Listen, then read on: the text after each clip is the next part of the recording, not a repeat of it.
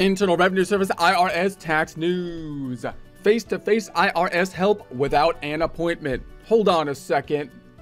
Is that some kind of euphemistic way of saying they're sending over IRS goons to my house to collect past due taxes?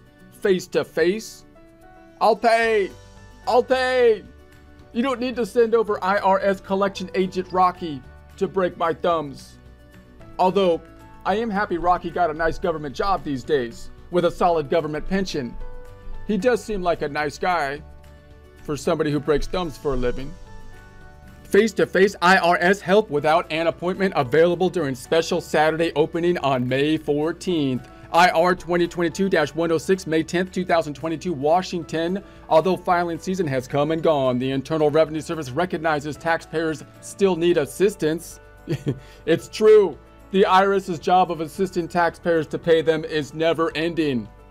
To help taxpayers, the IRS today announced many taxpayer assistance centers, those are the TACs around the country, including Puerto Rico, will be open and offering face to face help on Saturday, May 14th.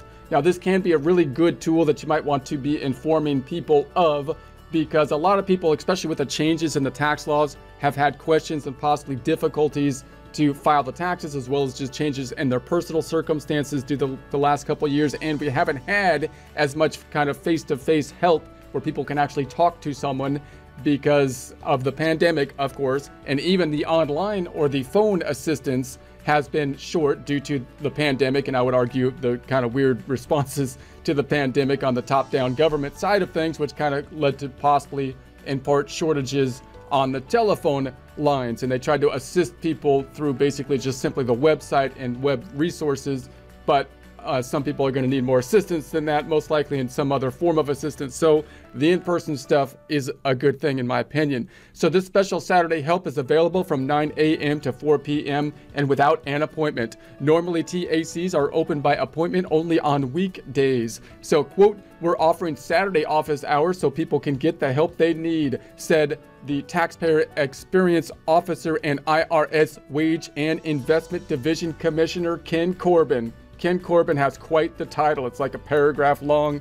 That takes up half the article here, his title does. But in any case, quote, we recognize and understand not everyone can get to an appointment during normal business hours, end quote. The IRS.gov website, contact your local IRS office. There's a link to that here. Lists all TAC services offered during the event and regular office hours. Many have used a Saturday visit to ask about IRS Identity Protection Service, or uh, so there's a link to that if you want some more information on that, or to request individual taxpayer identification numbers, the ITINs, uh, refunds, and payment options. So there's links to that stuff.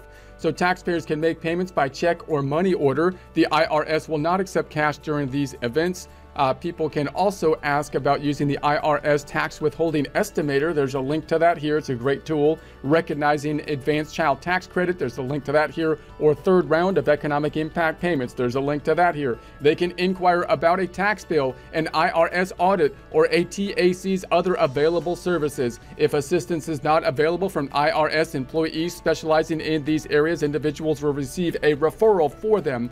Taxpayer Advocate Service employees may also be available to assist with issues that meet certain criteria. Foreign language interpreters will be available. IRS staff will schedule appointments for a later date for deaf or hard of hearing individuals who need sign language interpreter services. Before going to a TAC, Corbin encourages everyone to visit irs.gov, irs.gov, irs.gov V for victory over tax questions. Well, they'll find many online resources. There's links to those resources that are safe, secure, and convenient. Explain how to prepare for a visit. This information is available in both English and Spanish. Quote, We'd like to help everyone get the most out of their time with us, end quote. He said, quote, because appointments aren't necessary for these special Saturday hours, wait times can be longer than usual, so plan accordingly and come prepared, end quote. So you want to make sure you got your stuff ready when if you're going to go to one of these things so that you're ready to roll and ready to talk to someone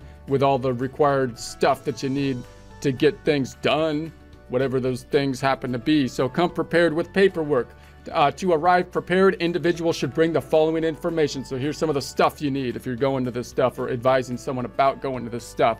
Current government issued photo identification, social security cards for members of their households, including spouse and dependents if applicable, any IRS letters or notices available and related documents, and those who plan to request identity verification services must bring two forms of identification and a copy of the tax return filed for the year in question if they file a return. During the visit, IRS staff may also request the following information a current mailing address and bank account information to receive payments or refunds by direct deposit. So if you want that direct deposit stuff, they need that banking stuff. So the IRS follows Centers for Disease Control social distancing guidelines. So there's, there's a link to that here. Not even sure what those are these days, but whatever they are at your point and wherever you're at, then IRS is clearly going to be trying to be in alignment with those. That's for the COVID 19, of course, and availability may change without notice. So, when required by CDC guidance, such as high transmission count, uh, counties,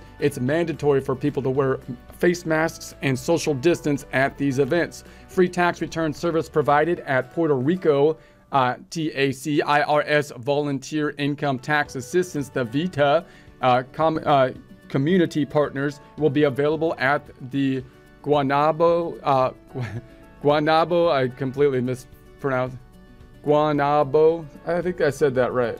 Community partners will be available at the Guanabo, Puerto Rico TAC, providing free tax preparation. Additional tax preparation assistance can be found in Puerto Rico by using the VITA slash TCE locator tool. There's a link to that locator tool here. Puerto Rico residents can enter 00638 in the, in the zip code field and search in 100 mile radius to get a list of open sites so tax return preparation will not be available at any of the other uh, event locations. However, some community partners are still providing free tax preparation services even though the filing season ended April 18th.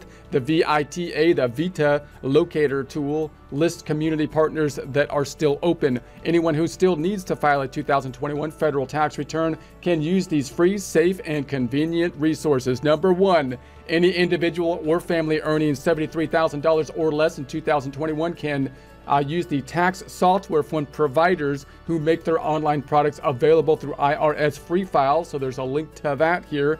Great tool, almost required these days with the complexity of the tax code and the changings of it and so on and so forth. Software is very helpful. There are products in English and Spanish. Note Form 1040-PR U.S. self-employment tax return, including additional child tax credits for bona fide residents of Puerto Rico in Spanish, is not available through IRS Free File. Individuals filing Forms 1040-PR can use My Free Taxes instead. There's a link to that here. And then we have then, they got two number ones. This should be number two, I think, because it shouldn't have two number ones, but number, number, second number one, 1A, one dot. Free help preparing tax returns is available at any open volunteer income tax assistance center or tax consulting for the elderly location site. There's a link to that here. The income limit for VITA, VITA assistance is $58,000. To find the closest free tax return preparation help, use the Vita locator tool or call 800 906 9887.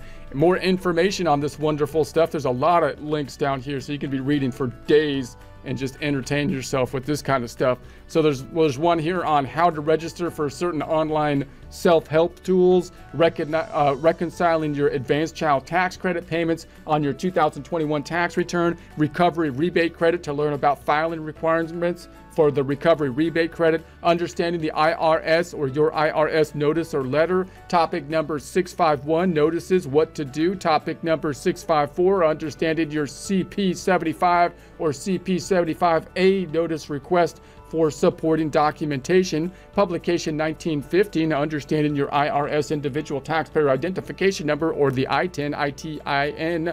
And then we have the Identity Theft Central. Lot of lot of wonderful reading material that if you just want to sit down by the fire and have a quiet evening of reading, this stuff is here for you. And there's links to this stuff, and there'll be a link to this in the description.